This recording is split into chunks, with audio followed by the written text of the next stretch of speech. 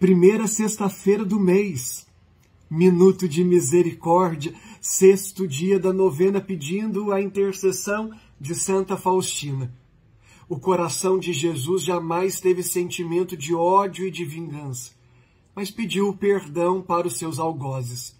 Seu coração indica o caminho para sair do espiral da violência, o caminho da pacificação das almas, da compreensão e da reconciliação. Oremos. Ó Jesus, misericórdia, envolvei o mundo todo e estreitai-me ao vosso coração. Permiti, Senhor, que minha alma descanse no mar da vossa inesgotável misericórdia.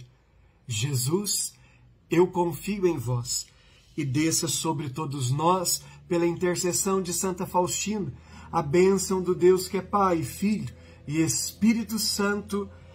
Amém.